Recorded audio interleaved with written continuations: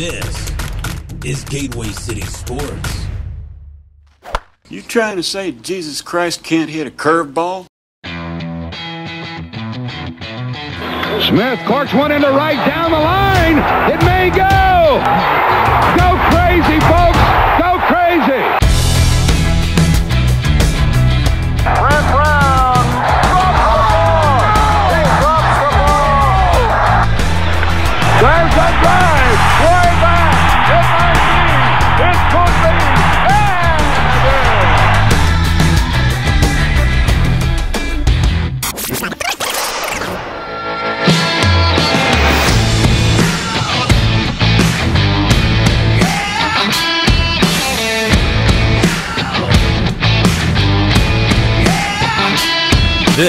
is the Team of Rivals podcast. No insiders, no anonymous sources, just passionate analysis from the bleacher seats. Here are your hosts. Good evening, Cubs and Cardinals fans. It's Thursday, January 21st. Two weeks in a row, we've got a great guest showing up. Uh, unfortunately, our permanent temporary kind of guest host. Elliot wasn't able to join us. Um, but here with Ron and I today, uh, the play by play voice of the St. Louis Cardinals. Um, for those Cardinals fans, you already know who it is. For Cubs fans, shut up.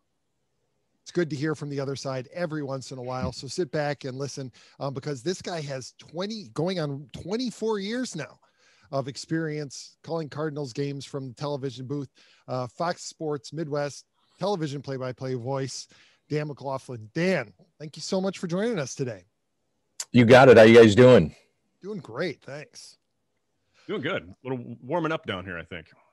So, Dan, uh, just to give some background for our Cubs fans who aren't as familiar with you, um, you've called all the major sports at one point in your career, but you're almost exclusively identified with your Cardinals calls now. Uh, what is it about baseball that draws you um, there and has kind of pushed everything into the background for you? Um, you know, having grown up in St. Louis, I grew up in South St. Louis, uh, played baseball as a kid, loved the sport. Um, always just had a, a, a fondness for the sport. Um, and I think when you grow up, whether it's in Chicago or you grow up in St. Louis and it's baseball crazed towns, uh, certainly in St. Louis, not to say it's not the case in, in Chicago, but you do have the other major professional sports, whether it be with the Hawks or the Blues, um, you know, the Bulls, the Bears, that kind of thing. Uh, for a while, we had football here, but it always just gravitated towards, for me, going back to baseball. And and I played college baseball. That's how I put myself through college. I played it in high school, had a, a scholarship to go play baseball, and um, I owe everything to that stupid little ball. Uh, in my life. I'm, I'm very, very fond of that ball. It's given me my life, and I'm very thankful that it's given me everything that I'm, I'm very appreciative for. And um, it's provided me with experiences and memories of a lifetime that I never thought I'd ever have the chance to, to have in my life. You know, meeting people that I never thought I'd meet, going to places that I never thought I'd, I'd go. Uh, as a kid, we never really traveled all that much um, for a, a, vacation. You know, a vacation for us was going and borrowing a, a, friend's van and going down to the Ozarks for a week. And now I'm, you know, could say I've been just about every place you could imagine in North America. I, I did the Blues for a long time. I worked at ESPN, uh, did the NFL, did all those things, and it always brought me back to wanting to be the the voice of um, the St. Louis Cardinals. I grew up a huge Cardinal fan and uh, Ozzie Smith was my favorite player growing up. And I say that I always practice doing what I'm doing today because we're be, we would be in our backyard playing wiffle ball and I'd be announcing the games. And that started when I was literally four years old playing wiffle ball. I, I just, I love the sport. It's given me everything I, I enjoy this day. And um, I'm very, very thankful. Very, very, very, very, very, very, very, very, very, very, very, very thankful. Whoa. So I get the sense that you're thankful. Yes, is- sir. Is the message. You, you bet I am. And this is something, I mean, obviously, from the way you describe it, you had your eyes set on this for a long, long time. There was never any doubt that this was what you were going to do. Well, you realize you're not going to hit a 96 mile an hour fastball when you're in college. So you're reminded very quickly that um, this is probably the path you need to take. And then they start spinning off really good curveballs. And then you're really reminded that you better figure out your path very quickly. That um, if you want to stay in sports and you enjoy baseball, you better figure it out very quickly that um, broadcasting is what you want to do. I, I never wanted, like ozzy like I said, was my favorite player growing up. I never wanted to be though the next Ozzy Smith. I, I, wanted to be like the next Jack Buck, and by no means am I saying I'm the next Jack Buck because I'm far from it. There'll never be another one like him. But he was the guy that I idolized growing up, and here in St. Louis, we're very blessed um, to have great announcers in in my lifetime as a kid. Whether it was Dan Kelly on the radio calling uh, Blues hockey or or Jack Buck calling Cardinals baseball. Um, obviously, Bob Costas was, you know, cutting his teeth here and and doing Sports Open Line. Dan Dierdorf was here doing stuff at KMOX. I mean, we had a lot of great people that that got their careers started here, and many of them stayed here. So I, I was by osmosis listening to those guys and kind of. I think when you listen to them, you kind of you, you take bits and pieces of all those guys, and I always wanted to be a broadcaster. That's that's what I wanted to do and so um, that's kind of always what I wanted to do as a kid was just get involved in some way somehow, uh, doing something in broadcasting, something in this realm, and one thing led to another, and here I am. Dan, Dan speaking of uh, speaking of uh, you know icons and, and voices of St. Louis, uh, you know after 62 seasons, nine as a player, Mike Shannon is going to retire after 2021. So just tell us a little bit about Mike and just your experience being around him. It's been great. Um, very lucky to be around Mike. You know, when I started, I was like 23, 24 years old.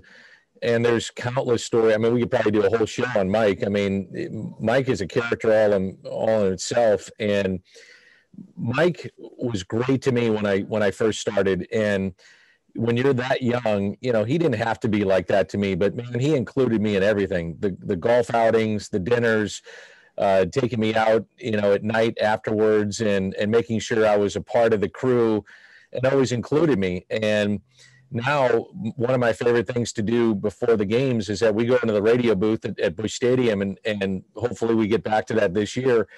Is we have dinner every night, and Mike kind of holds court and listening to the stories and, and hearing about Hank Aaron and Willie Mays and hearing about the great Cardinals, um, you just you don't find that every day and the firsthand accounts. And listening to those stories um, it's pretty amazing. But the thing that i'm very thankful of with mike is that he included me from the time i got there and stepped foot um, being a broadcaster with the cardinals. He didn't have to do that. You know i could have been the new guy on the block and i was working with mike and jack at the time and we were doing three man boosts and that kind of thing on radio and I was doing some radio games with Mike and he made me feel as if I was an equal and he didn't have to do that and I'll never ever uh, be able to to thank him enough for including me as being part of the family and and that really helped me in the beginning because when you're trying to follow Jack and Mike and Joe and here's this new kid and you know who is this guy and to, to, include me in that and to make me part of the family that that's a big deal and it really helps you with the fans. So i'm, I'm very appreciative and always thankful that mike did that. Dan can you tell us a little bit about that story? How did you land such a plum gig at such a young age? I mean basically right out of college and here you are calling games for one of the largest fan bases in the united states. Well i, I went to lindenwood university. I was playing baseball there but I, I was always um, I always say, you know, when kids were out partying and stuff on the weekends, I was out calling high school games, college games. Uh, I literally was sleeping in my car in various parts of uh, the state of Missouri to go call games, and then I'd sleep in my car and get up the next day and do the wrap up show um, to get experience. And we had a guy, so I was doing those kind of things all the time. I got a job at KMOX, and I'm getting to the roundabout way of this. It may be a long story, but you asked the question. Um, at Lindenwood, we had a guy that taught a class um, down at KMOX. It was an editing class, and that was on the old reel-to-reel machines and how to edit. And you literally would take a razor and you'd splice it up and tape it and stuff. And they pulled me out of the class and they said, you know, hey, we heard you're really in, involved in in broadcasting, and how would you like to have a job at KMOX? And I was probably, I don't know, 19 or 20 at the time, and you would be the guy that is running the Cardinal Baseball Network. And I thought, wow, what a what a job! And really, all that meant was is that you're pushing the button when it was like, you know, at the the midway through the third, and you you press the button for the Anheuser Busch commercial and that kind of thing. And after that game, you might answer the phones for you know Mr. Garden and Mr. Tinker and ask the lawyer and all this kind of stuff. And you're doing 12 hour shifts and that kind of stuff. And so I was doing that, and that led into setting up remotes and things of that nature but I always take my time down there and um, and try to use the equipment and have them listen to my tapes and things of that nature. Um, and I was setting up one time a remote for Joe Micheletti and Ken Wilson over at, at Enterprise Center, which was then Kiel Center, before a Blues game, and there was a uh, some type of protest going on in front of City Hall. So I'd already set up the remote. I always carried a recorder with me, and I covered the the actual protest of what was going on. I sent it down the line, and it was a lead story on KMOX. And I got some people's attention. They're like, "Man, who is this guy? You know, like what the hell's going on here?" And so they, at that point in time, was kind of a transition at KMOX in the company, and they needed a guy to do some fill in on the weekends and read sportscasts and things of that um, that ilk. And and so uh, I was 20 when I was on the air at KMOX. I was one of the youngest, if not the youngest ever at KMOX to be on the air. And so a friend of mine at that point then, uh, fast forward probably a couple years, was at Fox Sports Midwest and said, Hey, uh, they, they have this hockey show. You ought to be doing some features for it. And I said, uh, Oh, okay. They said, You got to meet with this guy. So I go in and meet with him and he says, You're Dan McLaughlin? I said, Yes, sir. And he said, You got to be kidding me. And at that point in time at KMOX, I had set up doing some intermissions for the Blues. I developed some stuff on the air with KMOX. He said, I thought you were a 45 year old man. And he wrote down on a piece of paper a, a guy that was a cameraman, a producer, and he threw a he threw the names and numbers at me and he said, You got five features to, sh- to show me what you can do. You got five. And he said, Get the bleep out of my office. I said, Okay and I lied and said I knew what I was doing. Well, I knew Jack Buck at the time. I had done some Sunday night shows with him, and the first feature I did on Jack Buck was got nominated for an Emmy. It was a really neat piece. And one thing led to another. They said, "Hey, can you can you intro these pieces on the air?" Oh, sure, I can. I'd never done that in my life. Uh, I lied about everything. And one thing led to another after that. Can you do intermissions? Sure, I could do that. Started doing that. And then they said, well, we're going to start doing these pregame shows. Can you do that? Yeah, I can do that. And then they said, well, we're not going to travel pregame show guy, and we we need you to do play by play. And I actually, the first time they offered it to me, I turned it down. Um, I said, I'm, I'm not ready to to do play by play, and they said, well, you're going to be ready.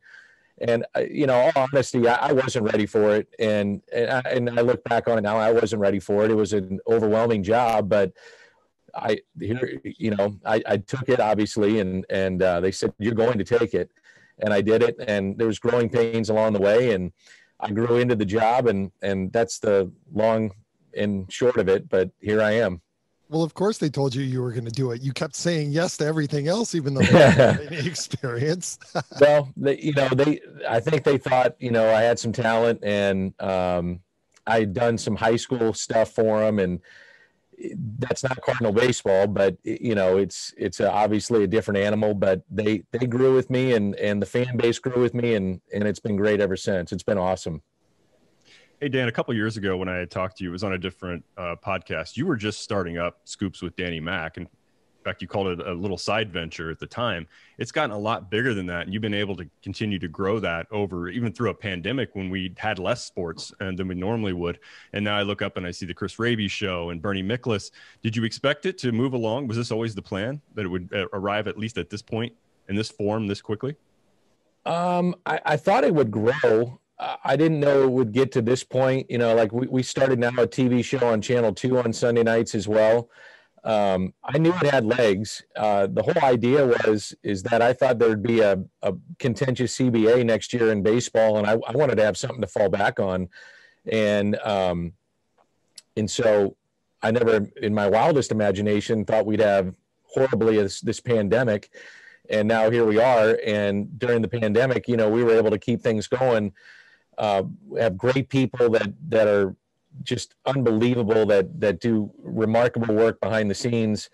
Lauren Veerhoff is is one. Brian McCann is another. I mean, they're just incredibly talented people that really are the the, uh, the brains behind the operation. I'm just the knucklehead that kind of runs it too, and they're the ones that that keep this thing going. And what I found was that during the pandemic, people were just yearning for sports. Like they wanted an outlet to hear something, like something outside of COVID 19. Like just tell me something that's going on in sports, especially during the quarantine. Like they just give me something. Like, are we, we going to have sports? Are we going to, you know, what are players doing? What, what are, what are front offices doing? And so I kind of looked at that as an avenue to, to get into an audience that we weren't getting to before that where it was just turnkey before. Like everybody just knew it was sports was sports, sports. Everything was sports. Every, it was always there.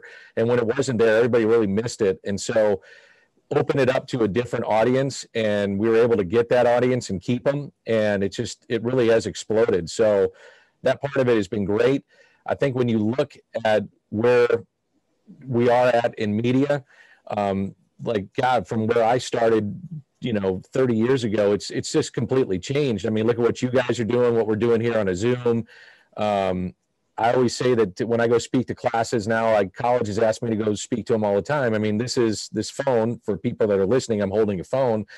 I mean every one of these kids um, are a reporter you know, I mean, your, your phone is, you're a reporter everywhere you go. I mean, you can take a picture, you can record something, you can do something. So everything's at our fingertips to have instantaneous reaction. So by being able to have a website and put it out on social media, that's kind of where I thought this thing was going.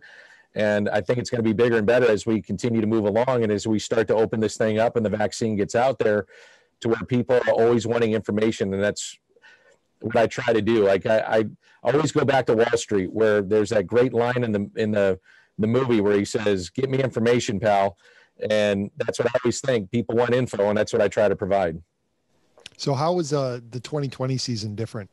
Calling that from the broadcast booth. I mean, at least in your experience. It was do well. The road games are like doing it like this. Uh, had a monitor about as big as this computer, and I'm trying to call games off the, the monitor it was hard. I mean, I, I, was talking to somebody today, and and you get done with those games, and you're you're really exhausted. Like you're physically tired. Um, and not to say that we're out there doing manual labor. I mean that that's hard stuff. But I mean you you're really trying to do a great job. Not that I, I don't try to do a really good job for people. I always do take great pride in trying to give you what I got. But especially this year when people wanted an outlet for three, three and a half hours to get away from COVID or to get away from what was happening in society. You know, for three, three and a half hours, a ball game might do that. And so I, I tried to really amp it up and be as positive as we could and say, hey, here's a here's a game, here's a presentation that maybe will take your mind off that stuff for three, three and a half hours for people that felt like they were locked in their homes. And my mother is a great example. Um, she has pre-existing conditions and she does not leave her house. And one thing she loves is cardinal baseball. And i felt like for three three and a half hours it was my duty to try to help people like her and others countless thousands millions of people that watch to give them an outlet to enjoy themselves. Because there wasn't a lot of enjoyment this summer of many things you can do. And maybe a baseball game was something they enjoyed. So that was something different. And you know technically to answer your question when we were on the road, when the team was on the road, we we weren't with them. So we're trying to do the games off a monitor as best we could. And I know we missed things. I know there are times I thought a pop up was like, and for your Chicago Cub fans, maybe a pop up turned into a home run and a home run turned into a pop up. Sorry, I tried my best, but you know, I would laugh at myself. You know, I just said, "Hey, we're trying our best, but you know, we're doing the best we could." Sometimes we didn't know who was on deck. Sometimes we didn't know who was warming up. Sometimes it was tough to tell who was in a shift, who wasn't, because we did have certain monitors that could show us what was going on, but you can't always see pitch to pitch to pitch. You know, I can't look over here and then see what's going on here and then over here. I, it just, it just, it was, it was just impossible to do that. But we did the best we could, and I thought we did a pretty good job with it. No, I think you did, uh, Dan. There's one thing that you know going into the season. I kind of I talked to Brad Thompson in July, and so he kind of went through what you guys were going to go through on the road games, and uh, you know, when they talked about pumping the, the crowd noise in during the broadcast and everything, I didn't know how I felt about that. That's going to be kind of odd, but I thought we had to have it. Yeah, no, and I agree. And and I think after the first game, you know, when the camera wasn't showing the stands in the background, you didn't know the difference between uh, a regular game where it was a packed house or whether it was an empty stadium. So it really felt uh, pretty natural to me. And it's been in the radio broadcast, you wouldn't have noticed the difference either. So I thought it was. I thought you guys, all of you, did a great job. Yeah, our director did a great job. Our producer did a great job too. I, I think they they well, I, don't think I know. I mean, they, they tried to purposely shoot the game, meaning the camera angles tighter if they could, so that you wouldn't see as many empty seats. Um, over the weekend, our winter warm up, I talked to Matt Carpenter about this. I said one of the weird things was like he had a grand slam. Sorry to rub this in, but he hit a grand slam at Wrigley, and one of the really weird parts of this year. He hits a grand slam. It hits the bleachers at Wrigley, and we had the parabolic mics at Wrigley, and I could hear the ball rattle in the in the the the bleachers, and I was like, "Gosh, that was weird." It just was weird, you know. And and and I know the Cubs are. It was kind of fun how their team was so vocal. It was like taking you back to a little league game, and they're you know chanting at the other team, and the other team's chanting at them, and you could hear sometimes some of the things that you didn't want to hear, which I know is part of why they across the board in Major League Baseball wanted to pipe in the, the crowd is because, you know, you, are going to hear some things that probably Major League Baseball did not want to be broadcast on their games. I mean, you're going to hear some coarse language. You're going to hear things that are discussions between players or umpires that maybe you don't want to hear because it's a family game, quote unquote. You know, you, are going to hear some of those things. Um, but that was kind of the beauty of it, too. And I, I like that. I, I, think we learned some things, too, throughout these games that maybe we, we should incorporate going forward. Um, that was good for baseball, too. So maybe we'll see that going ahead with 2021 when we do get some fans in the stands, because I do think we're going to have them.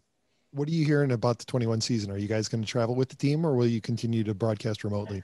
I, I wish I knew. We, we don't know. Um, and I, I would like to know sooner than later so my wife would actually get off my ass about when I'm going to leave uh, the house because she wants me out of the house. And you guys think I'm kidding? They want me out. I got four kids and a wife. They want me gone. Um, it was beautiful to be home in the beginning of quarantine because it's the first time I've not been on a plane since I got home from spring training of last year. And that's the longest I have not been on a plane in probably the last 25, 30 years and that part for me has been awesome. I love it, but um, to the point of trying to do my job, it's really hindered it because when you think of um, what we try to do over the course of when you're a hometown broadcaster, especially in TV, when you're trying to, because we give you the runners, we give you the outs, we're showing you where guys are positioned. A lot of our job is to fill in the gaps and there's not a lot of action right now in baseball in 2021. So we're trying to tell you the stories of the players. We're trying to tell you what's happening. So that is our time going down on the field, talking to the manager.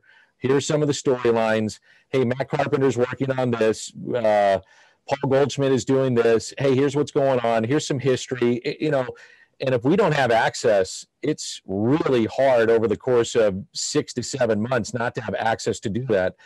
Now, you can get some of that stuff on Zoom, but that's not the behind the scenes stuff that we need to have if we're not there every single day. So we did the best we could, and we'll do the best we can if that's what we're forced to do. But um, to answer your question, we just don't know. I, I, guess the virus will dictate it, and hopefully within two to three months, you know, we'll, we'll have a better understanding of that. But we'll we'll make do with what we can do you know one of the one of the big things. I don't know what's worse, Danny Mac not knowing whether he's going to travel with the team or or not, National League not knowing whether they have a DH or not. Um, but there's another thing we don't know. I mean, the game itself has a lot of questions in it. But what did you think about the DH last year, uh, Dan? That was the first time it arrived in the National League, and I, I think Pete and I agree that was we thought next time around this this next CBA it was going to be here to stay anyway. Um, but you're seeing it for the first time in, in the ballpark last year. How was it, in your opinion?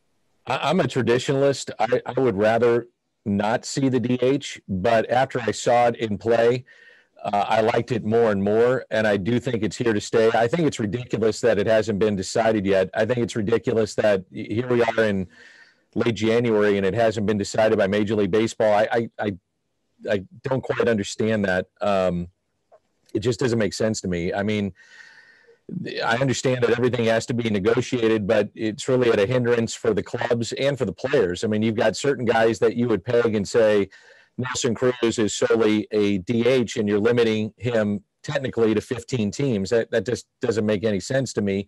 Um, so I would think going forward we will have the DH. I think the majority of fans, especially our younger fans, it seems like they want it. So if that's what they want, we might as well have it. Um, I would imagine this dovetails into some other things that you might ask me about. I, I think the seven inning doubleheaders was good. It was out of necessity because you were trying to protect your your players. But I, also saw a sense of urgency in the game. I, I, I thought it was good that when you were in the third inning, you were engaged, and I thought that was good for for fans. Um, I'm hearing more and more that people really liked starting a runner at second base in extra innings. I'm I'm okay with it. And if this is what people want, then we should give it to them. If this is what fans wanted to see, then I'm all for it. Again, I'm a traditionalist predominantly, but if this is what fans want to see, then by all means, I'm all for it. Speaking of the DH, um, what are your thoughts on the idea? And I know it's been largely promoted by Jayson Stark of tying the DH to the uh, starting pitcher. That as long as your starting pitcher's in the game, you get to keep your DH. But once you pull him, you're back to essentially a National League style of play. I, I think it's interesting. I, I, do like seeing some type of because I, I, wasn't a big proponent of the three batter minimum. I, didn't didn't you know the idea was let's speed up the game and the games were taking three hours and five or six minutes anyway so i'm not sure that that really helped and it, it took out um, some of the strategy in the game i think this might bring in some strategy back into the game and i do think it makes you think about when you want to pull that starter and so i'd, I'd be for it I, I think it's something to at least tinker with um, so i, I kind of like the idea i think it's kind of fun um, and I do, would I, I, do think it would make you think twice about pulling that starter, especially if that DH is coming up in your lineup. I, I, I kind of like it. I, I think it'd be kind of fun to do it. Well, it would definitely set the National League and American League apart, right? Rather than make, I mean, they share umpires. For sure. There's not a lot that differentiates them anymore if you bring the DH fully over. My only thought of risk would be um, our, you know, our managers uh, prone to maybe keep starters in longer than what they really think they need to, and do you burn people out long term? uh, doing that. Maybe not, uh, but it's just a just a thought that occurred to me. I, I kind of I kind of like the idea. It's interesting, but um, you know, I just want to know one way or the other. Uh, I'm not the most patient guy in the world, so. Well, I, I think the the thing that we had to be careful with too is coming off the the truncated season is how far are these pitchers going to go anyway? Um, I, I, think it's going to be really interesting, uh, and it's going to be, I think, a case by case look at all the organizations and how they approach their starters and and in, in particular their young pitchers how deep and how long will they let them go initially in the early portions of seasons and maybe throughout the entire season? And will some even major league teams piggyback the rotations? Um, is going to dictate as we saw in the world series that some guys only go as far as they go anyway.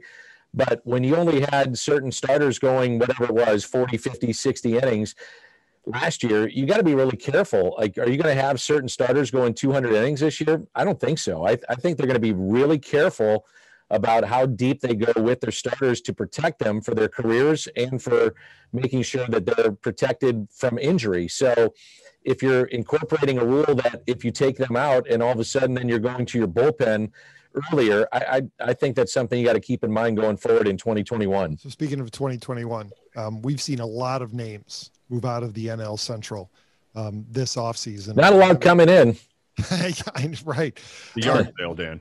What do, you think, what do you think this says about the NL Central? I mean, it, it, it certainly seems like the Cardinals are are benefiting at least to this point in the offseason simply by standing pat and watching everybody else take themselves down. Um, are you expecting more movement as the market shakes it out, or do you think that this is this is what the NL Central is going to be, and it's going to be you know baseball's version of of football's NLE or uh, uh, yeah NFC East this year, where we get a team that's below 500 that makes the playoffs. I, I think the Central is wide open. Um, I don't think Pittsburgh is going to win, by the way. Um, but I do think it's wide open, uh, currently constructed, just because not many teams are going for it. Uh, and that includes the Cubs with what they've done with Darvish and Quintana and Lester. I think the Cardinals by standing pat, you know, I, I would look at them as making a move or two, and that would put them ahead of some others. but it, it's wide open, and it, it could be a move or two by a few of these teams. And namely, I would look at Chicago, St. Louis, Milwaukee, and that would put them ahead of others, and maybe even Cincinnati. But I don't like what they did with the back end of their bullpen. Um, the one thing I would look at from a St. Louis perspective, where they may be ahead of others, is to the point I made earlier. They are very deep in their pitching, and that even includes minus Adam Wainwright. Um, looking at what they have, they've got, by my count, and this includes like a Liberatore or a Thompson. Um, they they could go 20, 21, maybe 22 deep of guys that potentially could see big league time this year and be effective. And when you have that many pitchers that could get time, whether it be in the rotation, middle relief, back end of their bullpen, um, and if you don't have starters going deep, I would think that that benefits them maybe more so than some of these other teams. Because if you don't have starters going deep and you have effective middle relief to get you to the back end of your bullpen, and the Cardinals do have a good bullpen, I think that puts them ahead of some of the other teams, even with a deficient offense. And their offense, the Cardinals' offense, was not good last year. It has to be better this year, but they may be playing a lot of tight games. And if they get some type of offense, I think that could put them ahead of some other teams. So it may not be pretty, but their their pitching may put them ahead of some of the other teams as currently constructed. Having said that, now that we do get an idea that spring training supposedly is going to start on time, 17th or 18th, whenever camps open up. Um, I do think we're going to see, generally speaking, in baseball, some more movement because teams now are saying, okay, we have a start date. We got to fill some of these holes. And I think we're going to see more teams make some more movement. You mentioned a mover, too. Uh, I'm sure that the thing that's uh, standing at the head of the line for a number of Cardinals fans and, and even for Cubs fans because he's such a pain in the ass for us. Um, do you think that one of those moves is Yadi coming back? I, mean, I do. Yeah, I think Yadi. Yeah, I think more and more. I think the signs point to him coming back, and that that's not from anybody telling me or insider information. That's just kind of reading the marketplace and where it goes. Um, I think we'll know more once Realmuto does officially sign. And I think that's how mostly it works in free agency. I mean, you saw McCann sign for his plot. You know, he got his money, and that was one of the teams you could look at and say, okay, that would have made sense there. But when Realmuto, who's kind of the big fish at that position, signs, other teams are looking at maybe signing him, and they say, okay, that was that was Plan A, and now here's Plan B, C, D, and Yadi may be on those lists. Um, but I, I, think when you look at legacy and what he means to this franchise, a lot of signs point to him coming back. Uh, I'd be very disappointed if he doesn't come back because I want to see him retire a Cardinal. I think when you look at over the last handful of years, uh, decades, it's been really impressive to see. Um, over the years, the Cardinals have had a Hall of Famer basically in their lineup just about every year. It's been really neat to see. And for me to call the game, selfishly speaking, it's been pretty cool to see. Um, and I do think Yadi is a bona fide Hall of Famer. And, and people can argue with me on that. That's fine. I know there's probably some that haven't watched him every day of his career like I have. I watched the intangibles. He's a Hall of Famer. And I think when he got 2,000 hits, that that was the final nail in the good coffin to put him into the Hall of Fame. I think that puts him in. Um, but I do think a lot of the when you're starting starting to put the the boxes of why he comes back, those boxes point to him coming back, and I do think he'll wind up in St. Louis. If he doesn't come back, do you think Knizner's ready to take on number one catcher duties? It's an interesting question because it would have made a lot of sense in a truncated season when Andrew Knizner uh, would have been the guy to be the backup last year with all the doubleheaders, wasn't here, and you had Matt Wieters that was kind of hobbling around um, and was ineffective many times offensively, getting the bulk of the playing time. So it does make me wonder a little bit but there's a lot of people that are very high in the organization with him. Um, how many starts does that mean that he would get? We would find out. But yeah, I think that would be the direction that they go. But there are guys that are out there that they could turn to too. Hey Dan, I want to shift gears real quick here. My son, I have a 15 year old. Uh, he's a he's he's a huge fan of yours. He's a big baseball fan. He loves it just as much as I did when I was younger growing up. But he's 15. Um, I told him he could not leave any of his school Zoom calls today to ask you a question. So we recorded one uh, pre-show, and so I'm going to play that one now. Uh, of course, and I asked him to please ask you one question, and I think what's his name? Braden. Uh, I think he packed about five questions in here, so I'll just go ahead and play it. And uh, here it is. Hey Dan, uh, big fan and someone who uh, wants to be a Cardinals broadcaster someday. Hopefully, alongside you, calling a Cardinals game. And I just wanted to say, um, what is your favorite um, Cardinals moment on and off the field? Um, what is your favorite thing about being a Cardinals broadcaster? And uh, what would be your number one advice for someone like me who wants to be in your position one day? And thank you for what you do for the Cardinals on the air and being one of my uh, favorite guys to listen to. Awesome. Remind me of some of the questions if I miss them. Um, well, you know what? He's uh, sure, and uh, he's actually on the line now, and uh, so I'll, I'll let him listen to your response.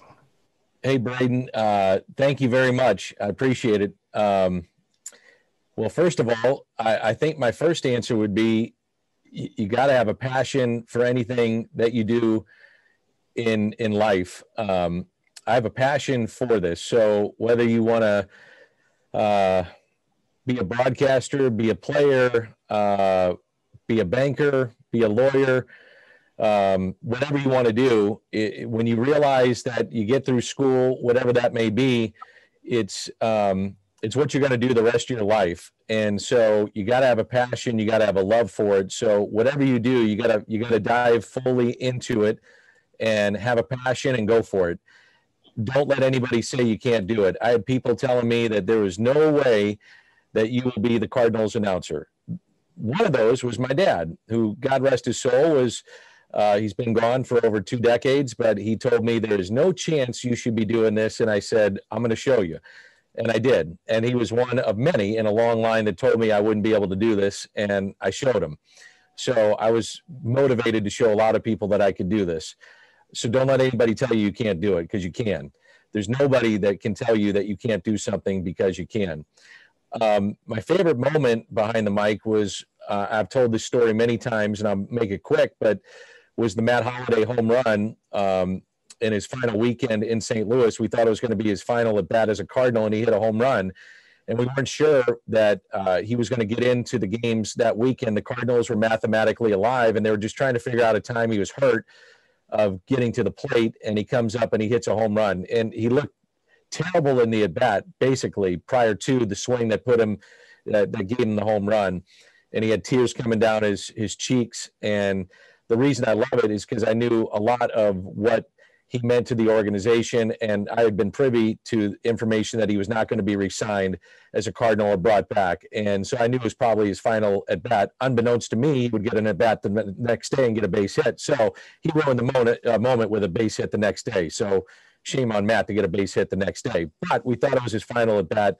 It was an incredible moment. He had done so many great things in our community with sick kids and started Homers for Health, which was through Cardinal Glennon, raised millions of dollars, which still goes on today.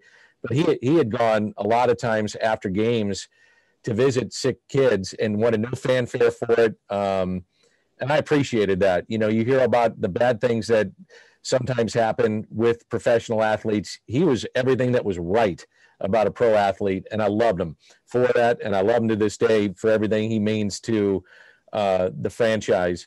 Um, what was another question too? There was three of them, and I can't remember the other one. Braden, do you recall? I'll let you ask him directly. Did he answer everything?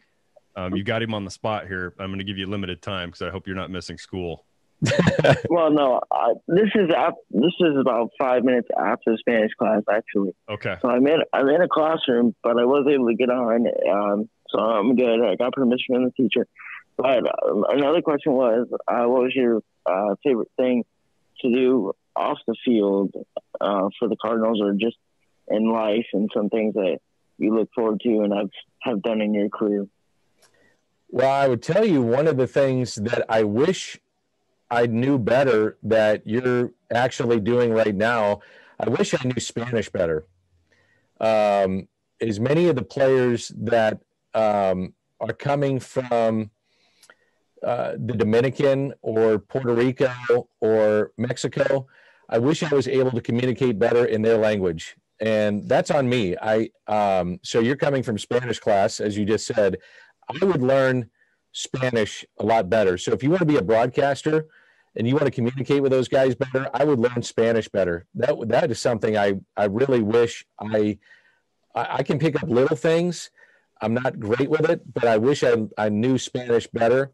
Um, the other thing in being a broadcaster is in especially with um, even in sports, the things I read, I, I, read a ton. I'm a voracious reader in books and things. I read things that are totally non-sports. Mostly, mostly what I read is non-sports. If I have free time, it's uh, totally non-sports. A lot of uh, nonfiction, and it's a lot of non-sports. If I can read about things that have nothing to do with sports, those are the things that I, I like to do. I try to do a lot in the community um, because I think this job, especially when you're in markets like, and this isn't to say that there are lesser markets, so I hope people get that, uh, under, understand that. When you're involved in a, a community like St. Louis, and Jack Buck was incredible at this, and I learned watching him, you have to be involved in the community. You have to be involved. The, the role of, of, of what I do is, is way more than calling balls and strikes. It should be involved in trying to make this a better place. And by no means am I saying I'm Mother Teresa, because I'm far from it. I'm just trying to say that I do try to get involved in the community because it's important. Um, these people that are here that support the team are are the people that I grew up with and the people that I talk to every night in a baseball game, and they're the people that um, support me too. And so, if you can get involved in your community in some way, somehow, I, I think that's very, very important really important. Love the kid to death, but Dan, he thinks he has a segment on our show. He busts in here every week. It's good. He, he, eh, so he's uh, he's doing this at, a, at an early age. So I'm, part of me's proud of him. The other part of me gets a little irritated. So I've got him on mute. That's fine. Uh, I'm glad he I'm glad he got to talk to you directly. I know that means a lot to him. Um, you know, speaking of what you've done in the community, Dan, I've also seen you really get behind MLS uh, the soccer team that's that's coming to St. Louis, which I'm excited for. Because I'm excited for while not be the may not be the biggest soccer fan, I'm excited for the city. Yeah, I, I think it's really important. Um, you know, when we lost the Rams, th- that was a kick in the gut. I, I grew up a huge football Cardinal fan, and then obviously became a huge Rams fan. And it's one thing to lose the team; it's another thing to lose the team in the manner that uh, the city lost uh, the Rams, and um, and I, have told the story before. And I, I, went in front of the board of aldermen, and you know, made the speech, and then did a, you know, try to do my my part uh, behind the scenes in what I could. And the, the people that are are behind the MLS movement, the ownership group, and whatnot, are are good people, and they're doing it for the right reasons. And um, I just felt, you know, in, in my small part in trying to raise awareness as to why they're doing this this was way, way more than than soccer. Now, my kids play soccer, and I've said this many times. I'm not the biggest soccer fan. I enjoy the sport, but I know what it could mean to our community, and and that's why I got behind it. Um, the, the, story I've told is that my son, um, at the time, I had never really seen him cry, and he cried the night the the, the Rams left, and I'm trying sitting there trying to explain to him you know why they're leaving and i couldn't come up with a reasonable response except for greed and money. And, and that's hard to do. I mean that's that's tough you know. Now this is big boy stuff. I get it. It's business. But you, you try to explain that to a little kid and quite frankly it pissed me off and so i just try to do what what me as a parent and in my role and having what i could do you know to to do a little part of whatever kind of pull I might have to raise some awareness for these people and what they're trying to do. And hopefully it made a difference. And obviously it made a little bit of a difference. And we're going to have soccer here. And I think it's going to be great because people will get behind this. I mean, this is a great, great sports town. And the narrative needed to change. Um, you know, I think the, the narrative outside of St. Louis was that, well, they, they didn't support it. And they, the, you know that th- these people didn't didn't care, and that, that couldn't have been further from the truth. And I, I think that needed to get out there. I think that was a little bit disproved when the Battlehawks arrived, and and sure they had some tremendous support. But I'll go go ahead, Pete. Dan, you know you mentioned being involved in in the community, and uh, one of the big things that you're known for is your uh, golf tournament. You, it's going on what eight years now? Is that right? No, 18. Oh, 18. Oh my God. Yeah. Even, even more. Um, is it going to happen this year? And uh, and and what is it about uh, the Special Education Foundation that drew you in to select that as your beneficiary? So we've raised close to $5 million. 100% goes to kids with special needs. Um, had a friend of mine that uh, at one point we were talking and he has a daughter that has uh, severe needs and basically it's the, the group that i'm with is special education education foundation when the tax dollars stop we step in. And so a lot of these parents hit a certain threshold with money that they make or whatever and they can't help their kids. And so it's really tough on them i mean it's very expensive when you have kids that that have special needs and it runs the gamut. I mean it, it could be all kinds of things. Uh, something as simple of and i say simple but I, I i hope people take that the right way of your kid grows up and as they continue to grow they need a hearing aid or they grow out of a wheelchair or they need a, a certain whiteboard or uh, whatever the case may be um, a special uh, need with a teacher. Uh, we've redone classrooms, things of that nature, and it's it's very expensive. And if you hit a certain threshold, they can't afford it. And so we come in and you make the case for us, and we'll write you the check, and we'll make sure we get what those services that need to be done. Um, and so my friend just kind of came to me and was just blurted out everything that happened, and I said, "Man, that that that's not right. We need to change that." And so that's how that that all started. And started a golf tournament. Um, did it on my own at first, and um, it was tough at first trying to start that thing by yourself. And then, you know, thank goodness uh, came came in contact with the right people, right board members that just fully got 100% behind it. And now it just kind of runs itself, which is awesome. I mean, it, it, it's a lot of work, but those people, man, they're, they're the ones that do it. I mean, I, my name's on it. Don't get me wrong. I'm involved and I'm helping out and getting sponsors and and I'm making sure I get people to getting out there and playing and donating money and getting auction items and all that kind of stuff. We sell it out every year, but um, it's it's been it's it's so gratifying to see the the people that we help. I mean, it's it's amazing. I mean, to have scholarships awarded for kids because some some of these kids are are on the full spectrum of of you know having uh, really special needs and there's other kids that are they just need a little push or need a little help and we get them through college that kind of thing um, so to see all those kind of kids that we can help and make a difference it's it's really cool. Dan last thing i've got for you. Now this is uh, uh, i talked to another gentleman who you're very familiar with a few years ago. He goes by the cat. Um, he's he's the best. He was he is the best. He's the best cable sideline reporter. He'll tell you that. He'll be the first to tell you that. Um, regional cable. Regional cable. Um, he was boasting on one of the shows I have how he's a huggable guy. So it, I'm not trying to toot my own horn, but uh, I'm a huggable guy. I mean, look at me, I'm huggable. So I mean, I've asked Matt Holliday to vet this out. I've asked Brad to vet it out. So you'll be the third. I'm trying to tr- I'm trying to triangulate this thing, see if this claim is even true or not. So just get your opinion. Is he is he a huggable guy? Oh yeah, very huggable, squeezable, spoonable, all of them. Oh, I've never spooned him, but I've just been told. Okay. okay. Yeah. Yeah. Very huggable. So true. Very lovable. He's the cat. I'll stop giving him a hard time. Okay. Yeah. He's the best. Hey Dan, uh, obviously we've moved into kind of the lighter section of uh, of the interview. I didn't notice. we won't get into whether or not Ron's huggable, um, but uh, obviously we've scratched the surface. So uh, you know, preemptively, I hope that uh, you'll come back on here sometime because this has been fun and we'll do it again. Uh, just my last question for you. Um, what's your favorite memory, given the thrust of our podcast? What's your favorite memory of the uh, Cubs Cardinals rivalry? Oh man, there's been a bunch. Um, I would say probably, generally speaking, just uh, being at Wrigley is great. I love going to Wrigley Field I, on a on a weekend of a beautiful and I think I, I think this now more than ever because we weren't able to do it. But being at a packed Wrigley on a beautiful like June day is pretty awesome. Um, so that's generally speaking. Um, I think my favorite moment was the the Pujols three home run day. That was pretty good. Uh, Peralta down to his final strike was a pretty good one. Um, there's been so many. I, I think of like Albert getting knocked down and then hitting one on the street. Um, those are fun. There's just so many. I, I, I Wrigley is a special place. Um, there's been uh, Pujols' 2000th hit at Busch Stadium against the Cubs.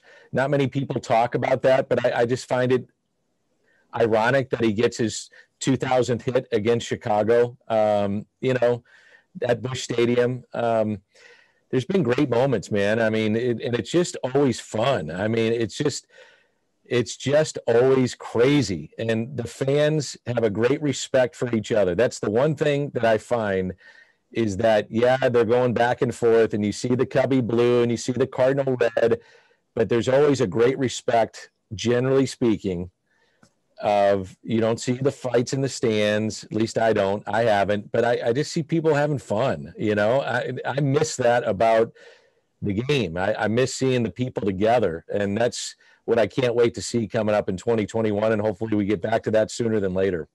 Yep, that's uh, definitely our hope. Um, just on a personal note, uh, on a personal level, Ron and I have had numerous side bets um, over the years, and uh, Ron's always paid out. So I'm looking forward to that opportunity again.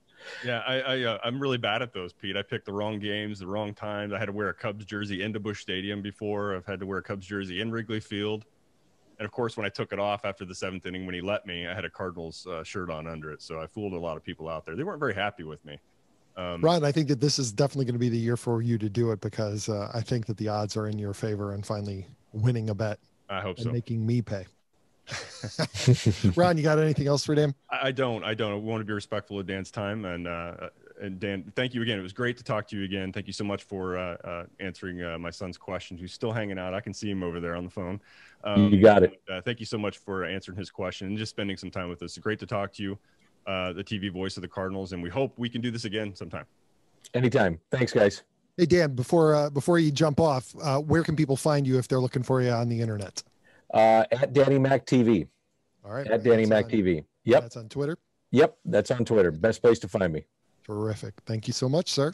thanks guys appreciate it That's our interview with Danny Mac. Hope you guys enjoyed it, Cubs fans. I hope you learned a little something, uh, and and I know that I speak for Ron and probably Elliot too, if he was uh, if he was here to express it. Um, certainly, the hope that Dan comes back uh, at some point in the future because we had a whole list of questions that we didn't even get close to asking. So, uh, hopefully, that'll be something we can do again in the near future uh, when his schedule allows it. And as always, remember when we're not live on Facebook, YouTube, and Periscope, you can find the Team of Rivals anywhere and everywhere. Our website is teamofrivalspodcast.com. You can follow us on Instagram and Facebook at Team of Rivals Podcast or on Twitter at Team of Rivals Pod. Send us an email at the show at teamofrivalspodcast.com. Even though he's not here today, you can find Elliot on Twitter at TOR underscore Elliot. You can find Ron at, Tor underscore Ron seven five. and don't forget, he's number 48. You can also check out our producer, Gino at Crash STL on Twitter. If you are watching us live, please like and subscribe, uh, whether it's Facebook or YouTube. Um, just go ahead, and hit that uh, subscribe button, and they'll let you know the next time that we've got a show coming up. You can also catch us anywhere you listen to podcasts Apple Podcasts, Amazon Podcasts, Stitcher, and so forth.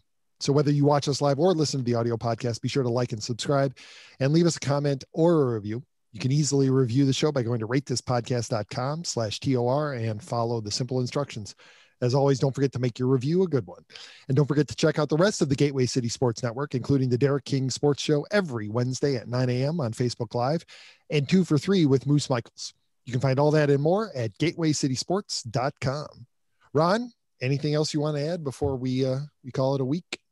Um, not a whole lot other than we don't know. You, you know, we look forward at some point in time to getting back onto our live Thursday shows. But we've had a, obviously a couple big names on over this last couple weeks, and so uh, we're not much good to use for more than an hour. So we figure if we spend an hour behind this microphone each week, that's probably the best you're going to get of us. And anything we give you on top of that is just going to be garbage. So uh, it's likely we won't be back at it live tomorrow night, but we look forward to uh, following it up next week with a uh, a comeback show uh, for the for the live shows on Thursday. But until then, Do we do we have a comeback show or uh, don't we have another guest next week or are we not prepared to Oh, announce that one yet? it. that's right. Oh no, Pete, Three weeks in a row. Pete, you're all over. No it. live show. Pete's all over it. That's right. We have uh, Brian Jordan, who is, of course, a, a, former Cardinals outfielder, former Atlanta Braves outfielder. He's still with, I believe, still with the uh, Atlanta organization as a broadcaster.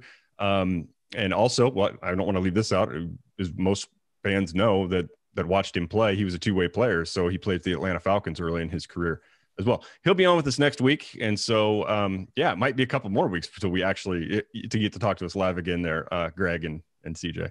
Um, and if you don't, uh, if you don't think that I'm going to ask Brian Jordan who was the best two-way sports star of the '90s, him, Bo Jackson, or Prime Time, boy, you really don't know me at all. no, that's a good question, though. I mean, you know, you're, you're, I know where I would default to automatically, but uh, we'll save it. We'll save it for next week. But until then, uh, we love you all so much. Bye bye, everyone.